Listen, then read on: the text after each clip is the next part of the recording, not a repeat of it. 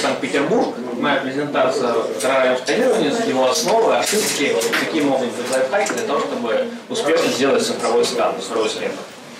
Э, мы обычно выступаем в партнерстве с Дамиром. Это цифровой техник, который работает в цифре 2000, по-моему, 2012 года, если не ошибаюсь, еще начинал в меди, на ручном аппарате, который специализировался кон. Сейчас, конечно, технологии шагнули далеко вперед, и мы уже знаем, что есть сканер, который заводится в полость рта и делает цифровой слепок. То есть оттиски, как раньше это было, не нужны, сейчас можно все делать в цифре. Здесь я быстро пролистаю, потому что у нас времени не так много. Я окончил третий медицинский колледж в 2012 году, и моя карьера развивалась так, что был заведующим лабораторией, техником, заведующим лабораторией, и вот сейчас я работаю в ультрастом. То есть что нам дает цифра? На самом деле, раньше работали как зубной техник и ортопед. На этом все. Хирурги не участвовали в процессе, не участвовали в процессе не ортодонты, потому что ну, такой огромный пул перс профессионала было не собрать. Сейчас цифра нам позволяет все это объединить. Получается, хирург планирует операцию, передает информацию ортопеду. Ортопед уже изначально знает, что бы он хотел получить в конечном итоге. Пациент это все знает. Ортодонт может участвовать в процессе. То есть все люди, которые участвуют, они могут вместе посмотреть на будущую работу. Благодаря цифре мы можем передать работу, мы можем моделировку показать пациенту. Мы даже при нем можем ее смоделировать, если это требуется. То есть сейчас гораздо проще. Пришел пациент в кресло, мы его отсканировали, и слепки уже улетели в лабораторию, и началась моделировка, например, да, какого-то wax-up а, digital wax-up а, условно. И пациент посидел 20-30 минут в кресле, пока разговаривает с доктором, и доктор ему объясняет, что ему туда подойдет. E.max, виниры, имплантация там будет, или еще какое-то ортодонтическое лечение, шины будут, ну, может быть, нужны джиги и так далее. В этот момент техник уже может смоделировать зубы и переслать их пациенту на согласование.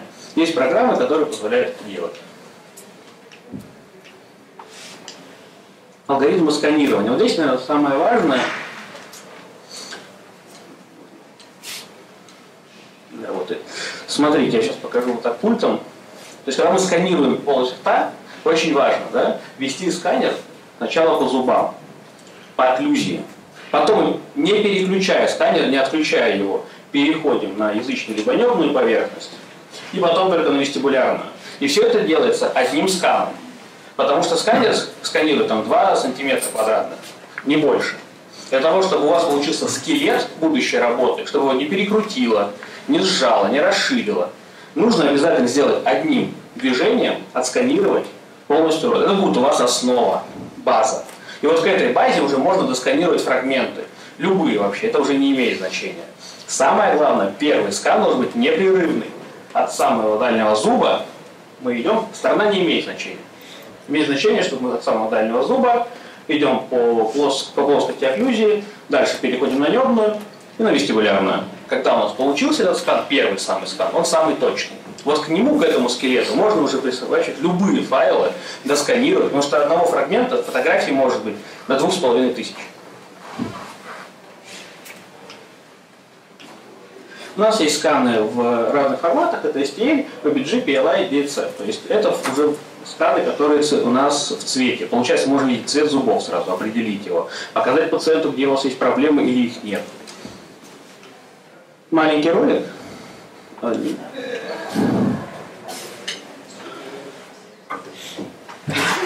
Звука.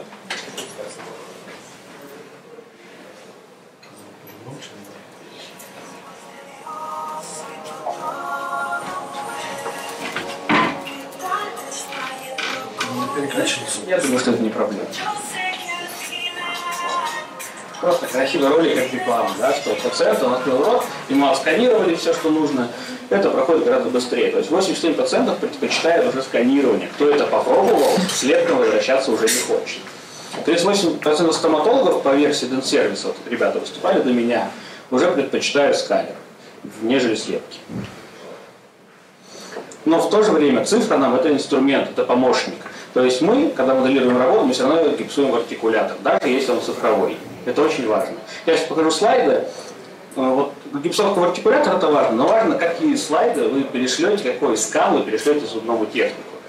Очень важно, потому что есть проблемы. В основном они связаны с тем, что когда вы отсканировали полость рта, у вас получились какие-то фрагменты. Например, вот такой.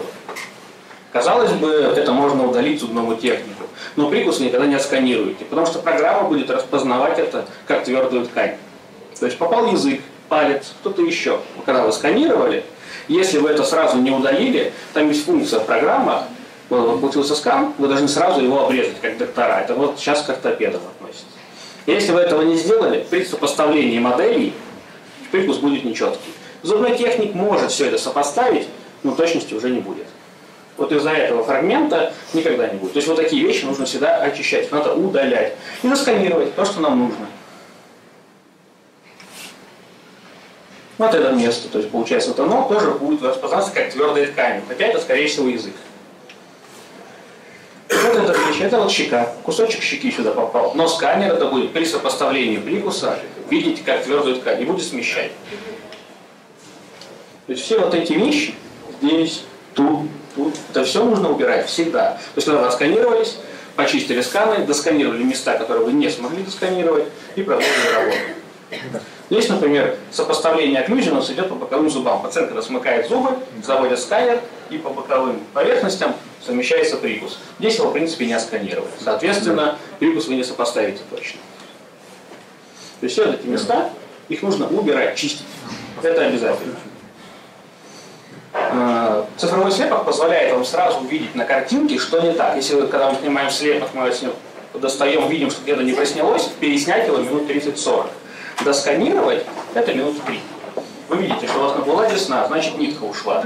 Это место нужно пересканировать, удалить объект, заново проложить нитку и досканировать. По-другому работать нельзя. Иначе здесь техник может примерно вот по вот этим вот косвенным признакам догравировать. Как это бывает сейчас на модели, да, там чуть-чуть скальпелечку подсняли. Чтобы этого не было, нужно обязательно места досканировать, удалять и пересканировать. Так и здесь. Это место не досканировано. То, что нужно было сделать доктору, посмотрев на скан, видите на компьютере сразу, в реальном времени. Он может этот объект удалить и пересканировать. То же самое здесь. То есть в экзокаде вот эта работа была сделана без использования моделей. Были четкие операционные сканы, они все в цвете, видим цвет зубов. Мне очень комфортно в экзокаде, но в принципе это интересно. Здесь, получается, концевые дефекты. Да? По идее, могли быть проблемы с прикусом. Но если доктор все четко отработал, дал нам прикус, удалил все ненужные объекты, то эта работа сдалась первого раза с минимальными отработками по окклюзии. Это у нас, например, как работают библиотеки цифровые. Да? То есть у нас есть скан-маркер, его сначала сканируют полость рта, дальше зубной техник подгружает это все дело у нас в экзокарт и сопоставляет Цифровой объект с физическим. Физический объект – это то, что вы сканируете в полости рта. То есть скан-маркер должен быть располагаться под этим квадратиком, сканирующим элементом, к щеке, либо к языку, чтобы его можно было увидеть. Дальше вся эта конструкция делается без модели вообще. То есть все одиночки в основном делаются без модели. Так это выглядит с полости рта. То есть мы видим, что при правильной передаче информации зубной техники немножко отдают десну, по цвету она прекрасно подошла. Это полная анатомия, это не нанесенный циркон, это просто раскрашенный. Все, буквально пациент пришел, э, минут, наверное, 15 открутили формирователь, почистили, установили коронку, шапку, естественно, закрыли, это винтовая фиксация на основаниях. И на этом все решилось. Гораздо быстрее работает. Доктор отсканировал это буквально там, ну, тоже минут за 30. Все, полностью весь прием. Если бы мы снимали слепок, это, скорее всего, было бы дальше. Самое опасное, когда мы делаем одиночки при сканировании, это попросить пациента сомкнуть челюсть. Потому что он считает, что раз у меня здесь дефект, там надо жить посильнее, ну, потому что мне точно нужно передать прикус. А поскольку зубы у нас подвижны, мы получаем пересечение. Тогда как здесь их нет вообще, с этой стороны он не накусил, то здесь он передавил. Вот это пересечение это очень много.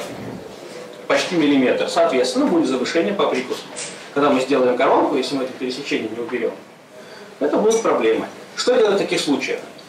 Я знаю, что массажи делают, как-то расслабляют пациента, сажают его. Гораздо проще дать ему копирку 8 микрон, поставить между зубами, просить его ее, накусить. В этот момент пациент подсознательно думает, что просто может бумагу, и он не передавливает. Он просто сжимает две копирочки, с этой и с этой стороны. И тогда пересечения идут равномерные, и проблем нет.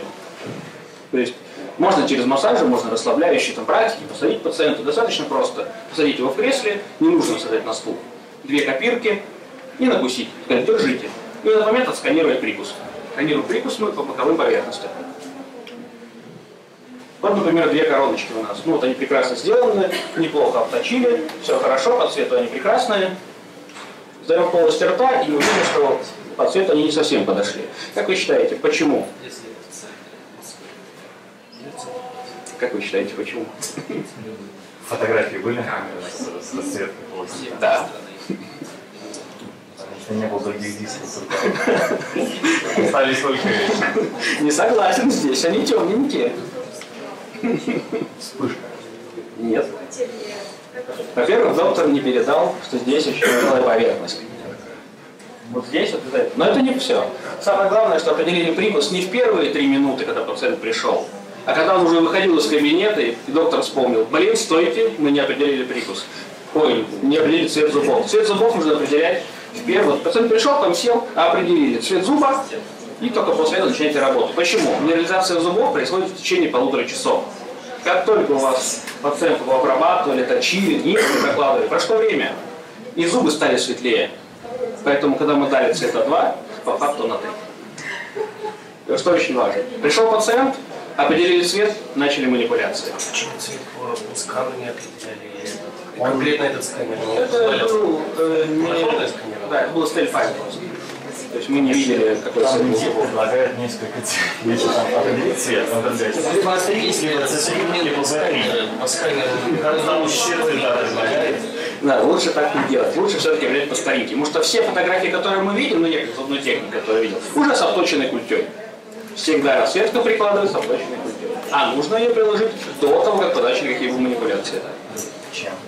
Ну, то есть можно к соседним зубам, если, если зуб э, черный. Когда ты его обтачиваешь, у тебя полость рта высыхает, даже если ты поливаешь, минерализация слюной не происходит, только водой. И поэтому цвет зубов он становится более белесый. Почему говорю, зубы высохли, сухие зубы, они более светлые.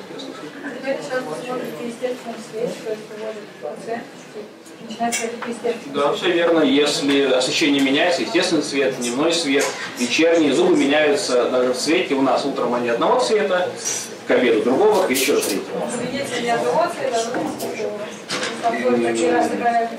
Это зависит от нанесения, скорее всего, то есть нужны эффекты. То есть у зуба есть, э, ну вот, например, дентин, эмаль, ее где-то больше, где-то меньше, очень много опал эффектов. Если нужно прям вот максимальное совпадение, это, конечно же, Макс, и очень тонкий.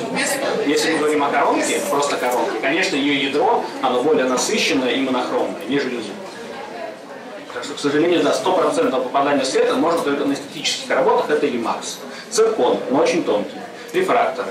Если мы просто берем коронку на импланте, сам циркон сам по себе он очень монохромный, то есть он очень плотный. Сам свой зуб он, конечно, просвечивает. Эта работа была тоже сделана без использования слепков, и это циркон в полную анатомию, фронт. То есть сейчас уже нанесение не обязательно. Все можно делать в цифре. Тоже стандартная работа делается без слепков, в становых основаниях. Есть 3D-аналоги специально. То есть можно напечатать модель. Сейчас технологии до того дошли, что мы используем в своей работе, как зубные техники, печатные модели. Для этого компания Ультрастом производит там, 3D-аналоги, становые основания.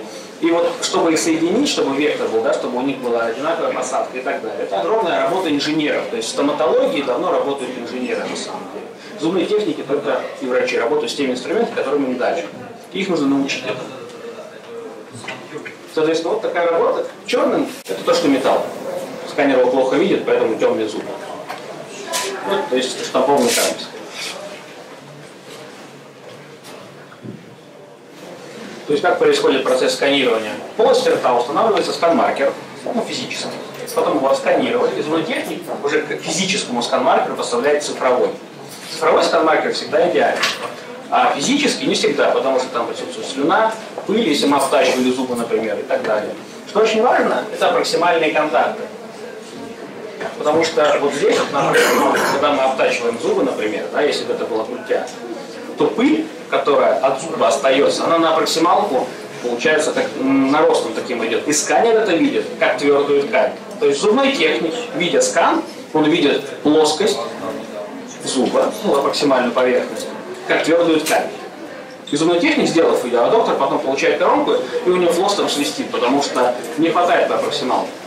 Не хватает. Это из-за того, что нужно было почистить ее перед сканированием максимальных контактов соседних зубов. Очень важно вот эти в зубах почистить. То есть прям взять щеточку и пройтись машинкой. Потому что если вы этого не сделаете, то вот здесь, скорее всего, могут остаться отложения. Слюна какая-нибудь засохшая, еще что-нибудь. И тогда у вас полость рта, коронка сядет, но будет с щелью.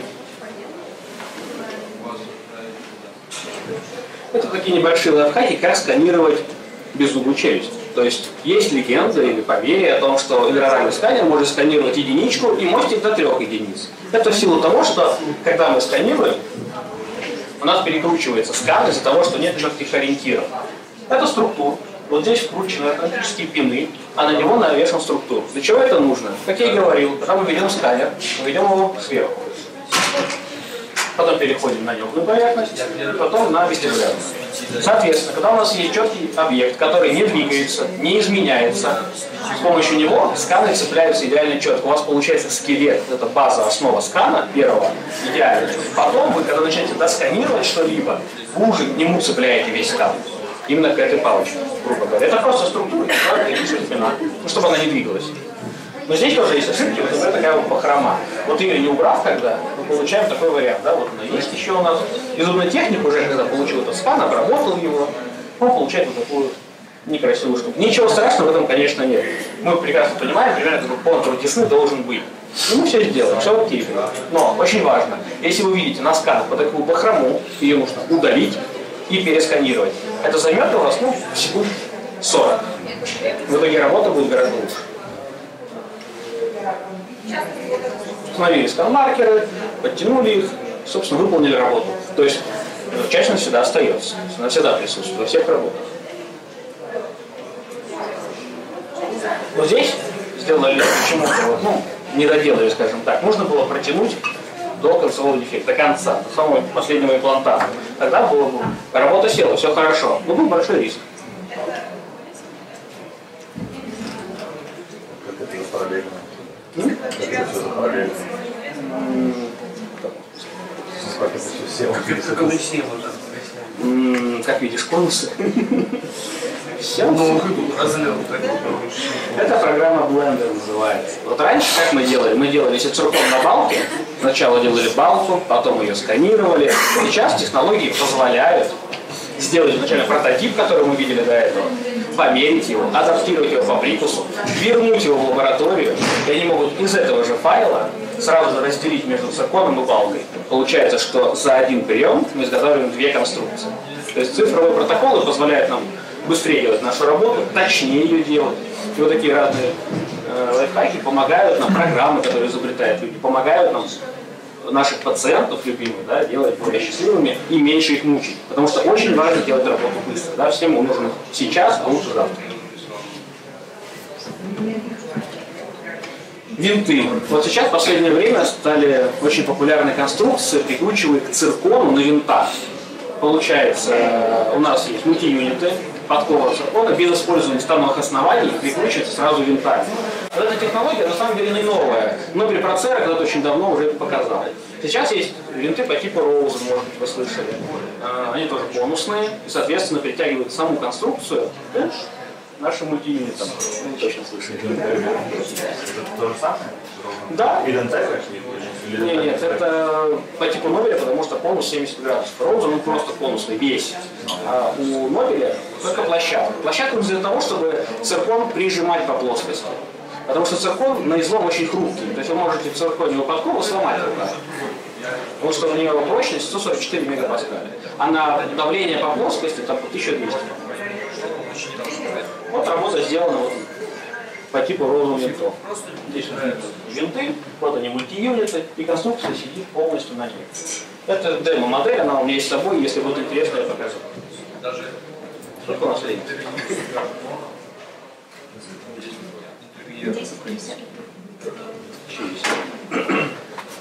Мультиюниты компании Ультрастом. Это расскажу о наших особенностях, грубо говоря, в Петербурге. Давно уже производят все комплектующие, которые из мировых брендов. И смотрите, то есть вот если мы берем посадочные места, да, они подходят по всей системе. А вот верхушки мультиюнита нашем случае сделаны под одну систему, под модуль. Для чего это сделано? Мы считаем, ну, наш инженер считает, что конструкция модуля самая удачная. То есть концепт самоудительности – это пассивная посадка. Когда вы, получается, делаете работу, чтобы она у вас садилась пассивно, не напрягала наши имплантаты. Мультиметры вкручиваются до опера... после операции, и в процессе они уже не выкручиваются, они остаются в полости рта. Они надеваются чтобы формировать две десны, и потом уже готовый протез. Соответственно, в наших мультиметрах есть внутренняя резьба, что помогает вам в процессе установки. Винт не выпадает. То есть, соответственно, когда вы полость рта, мультимет, он оттуда не падает. И удобно, ну, палочка коннектор есть у всех производителей. Ничего в этом существенного нет. По поводу скан-маркеров. Мы делаем всегда из пика Все верхушки у нас из пика а низ титан, чтобы долговечность сканмаркера была достаточно высокая. А сканировалось пик, по нашему мнению, намного лучше.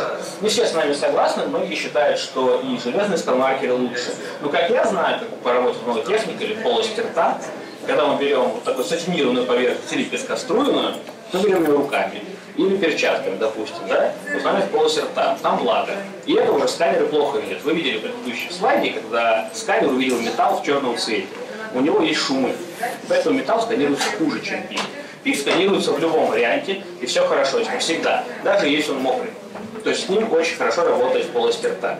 Наши сканмаркеры, например, садятся по плоскости. Что это значит? Что у вас имплантат, и если есть конусная система, да, когда у вас входит туда, получается, доктор, закручивая наш сканмаркер, он не использует геометрический ключ, он может закрутить 4 сканмаркера с разным торком, ну, от руки.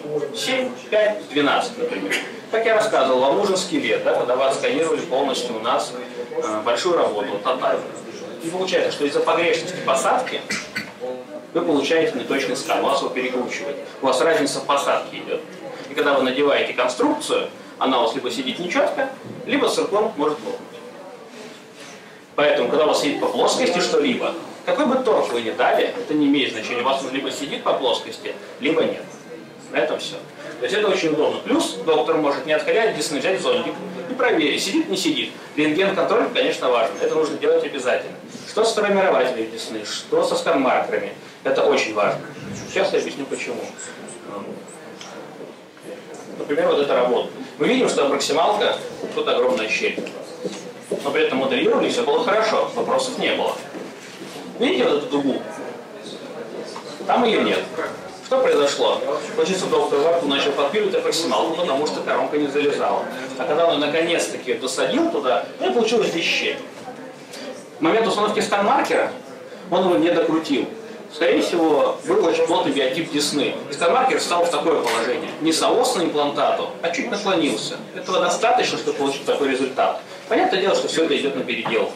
То, что нужно было сделать, это рентген-контроль и проверить, как он его сидит потратить лишние там, 10 минут, но при этом не переделать работу. Это очень важный момент. То есть ошибок не прощает. Любое оборудование, какое бы ни было, какое дорогое, только ваши навыки. Соответственно, не докрутив там маркер, не посадив его ровно, чуть-чуть наклонился он получается, скорее всего. Это предположение, я не разбирал работу, я предполагаю. Но результат мы вот видим. Поэтому стан-маркер нужно располагать всегда вот этим квадратиком к щеке, либо к небу для того, чтобы сканер это мог увидеть, потому что вся посадка идет у техники вот по этому верху, по верхушке и по этому квадрату. Это он все должен быть виден. Если вы расположите его дистально, например, или медиально к проксималке, вы его не увидите. Вы будете тяжело сканировать.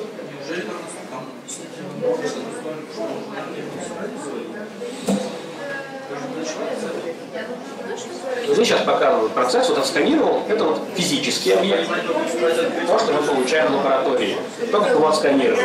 Видите, вот здесь вот есть дефект. Вот сейчас техник подставляет цифровой объект. Вот он ставит его на плоскость вот эту и сопоставляет его. мы видим здесь, что есть небольшая погрешность. Ничего страшного в этом нет. Понятное дело, все стало, все хорошо. Но вопрос, почему вот здесь вот такие вмятины? Как вы считаете? Почему может быть? Как это получилось при сканировании? Ну вот, видите, вот здесь. Я могу еще раз показать. Недостаточно просушено. Да, все так, это слюна. Вот здесь вот осталась слюна, так и отсканировали. Из-за этого, что слюна попала сюда, он это увидел как вмятину, как дефект. И убрал ее, получается. Соответственно, сканмаркер из пика даже вот новый, очень достаточно не просушенный, но при этом он сканировался. Но так делать нельзя. Все должно быть сухо, все нужно просушивать работу. Тем, вот это, оно ведется автоматически или вручную? Вы вручную выбираете точку здесь, точку тут. И сопоставляет его уже программа. Ну, Максимально, чтобы он подошел к всем параметрам. Потому что цифровой и физический объект, они одинаковые. Соответственно, к скан-маркеру привязываются титановое основание, 3D-аналоги. То есть у вас есть скан-маркер, это вас, грубо говоря, трансфер, только для цифрового ввода. Библиотеки Exocad и Трешейп. Ну, Exocad и Трешейп у нас ушли с рынка, но Exocad по большей степени популяризован в России, и там очень много халявных программ. У Шейпа все закрыто. Это все стоит больших денег, поэтому многие его не используют. Поэтому Exocad самая популярная система в России. 3D-аналоги. Они всегда такие вот маленькие, небольшие, имеют просто номер и разные посадки, то есть под разные системы. Обязательно такой винтик шлиц должен быть со шлицом, для того, чтобы притягивать его. И большинство лабораторий уже не используют гипс, они используют печатные модели. Это быстрее и дешевле. То есть не нужен гипсовщик. Зубный техник, который сидит за компьютером и щелкает мышкой, может создать такую модель. Поставить ее на печать. Теперь у нас не гипсовщики, а печатальщики. Принтеры, кстати, стоят очень гуманно. Кубики могут, можно купить за 40 тысяч рублей, но будет выполнять свою функцию. Недолго, но будет. Также можно взять юнит за там, полтора миллиона. Он будет точнее сканировать, точнее печатать, быстрее печатать, но цена вложений. Вот такие вот тестовые детали всегда теперь есть. То есть раньше этого всего не было. Сейчас для удобства техников и докторов созданы разные печатные модели. Это вот Харслав наши партнеры подсказали. Сделали нам такую плашку. Соответственно, вот здесь вот есть э, зазоры радиальные, которые подбираются для вашего оборудования. Потому что оборудование, которое мы используем для печати, очень чувствительное. То есть если у вас меняется например, температура, меняется свет, то все это влияет на печать. Соответственно, вот здесь, например, есть э, номера. Это 130 микрон радиальный зазор. Чем ниже, тем лучше. Гипсовый эквивалент за 0,4 примерно. Соответственно, если вы укладываетесь 0,4 при печати, вы соответствуете гипсу. Если меньше, точность выше, чем у гипса. Про химические шаблоны вам мой коллега рассказывал, в принципе, поэтому я думаю, что, наверное, все уже время кончилось. Да? Пять минут еще. Могу про шаблоны рассказать? Мы немножко по-другому делаем, нежели наши коллеги. Мы делаем втулки, естественно, для шаблонов. И вот я покажу, наверное, интересный случай. Вот раньше мы использовали геноконтрастные маркеры. А вот сейчас, вот, ну вот это так выглядит пациент. Отсканировал, мы видим только маркеры и поиск. Больше ничего не видно. Ребята придумали вот такую. Это ортодонтические пины, которые вкручиваются в небо. Для того, чтобы погрешности не было. Потому что пациент может что-то сместить, что-то перекусить и так далее. Они статичны, никуда не деваются. Никуда. Соответственно, вот так мы видим КТ и сопоставляем наш вот, по трем точкам, вот они, пины наши. Да, вот они. Точки расставляются зубным техником и сопоставляются. Вот, сопоставлен. Все в зеленой зоне, то есть погрешности практически нет. То есть можно использовать такие методы для того, чтобы точно сопоставить КТ и нашу сканированную челюсть.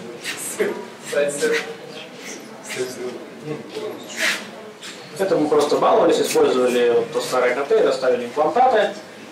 По поводу шаблонов. Самое важное это пины, наверное. Вот пины надо ставить минимум 4 штуки. Один может всегда подвести. Если шаблон у вас будет на трех пинах, один подвел, у вас будет хлюпать. Точности операции уже не будет. Соответственно, пинов, фиксирующих шаблон, должно быть минимум 4. Поставить можно 3. Вот вы поставили два, например, вестибулярной части и один сюда. Все замечательно, шаблон сфиксировался. Четвертый ставить не обязательно, конечно. Зачем травмировать пациента и кость. Но если он у вас подвел, вы можете использовать его. И вот этот подвел. У вас равно останется три пина. То есть не поленитесь, всегда поставьте.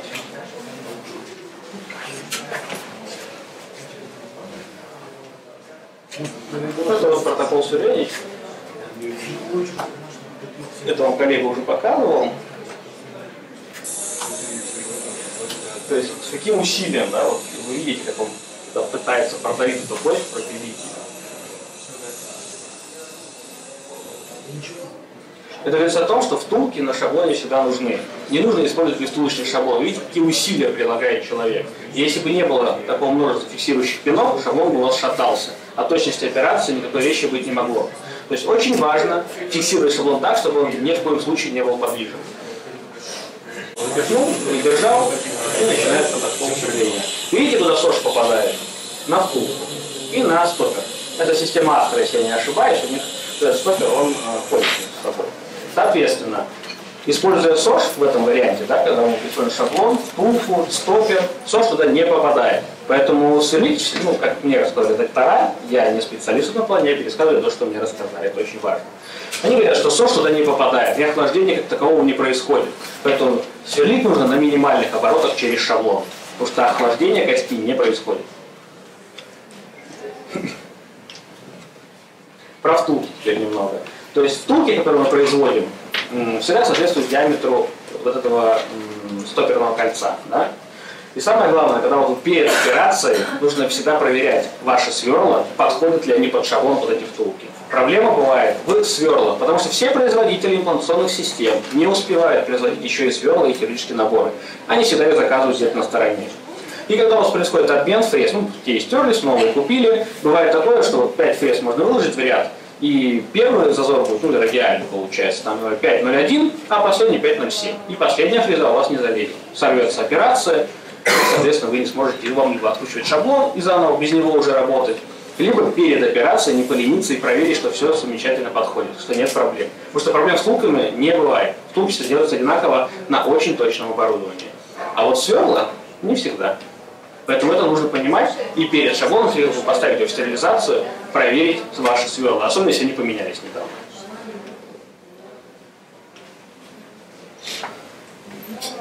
Это еще немножко лайфхак, например, как сканировать на пультях. Да? То есть, если мы понимаем про имплантаты, что мы можем пины поставить, вот они, кстати, ортодонтические пины, прошиты насквозь, жидкий кофе, по-моему, если не ошибаюсь.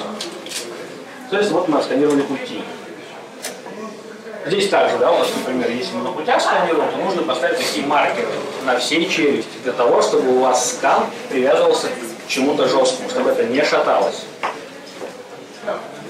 Вот здесь, получается, сделали только с этой стороны, сюда почему-то не перекинули лапки. Это была ошибка, но все получилось хорошо, как бы, то есть не, была возможность того, что работа не сядет, но все село. Вот этот протез, в 12 часов дня его закончили сканировать, передали в лабораторию, а в 6 часов вечера пациент ушел зубами. То есть технологии позволяют за 6 часов сделать протез просто операционно. Ну, соответственно, у нас уже закрываются шахты, здесь закрыли. Такой протезик можно изготовить с помощью цифры. Получается, раньше вам нужно было ввести слепок в лабораторию, то сейчас отсканировав, если все сделано правильно по протоколу, доставили это в лабораторию, смоделировали, показали пациенту, пациент согласен, поставили на выпилку, пластик пилится достаточно быстро, ну, там часа 4, наверное, 3. И, соответственно, на этом все. Приезжает в, приезжает в клинику, и часов 8 вечера пациент уходит зубами.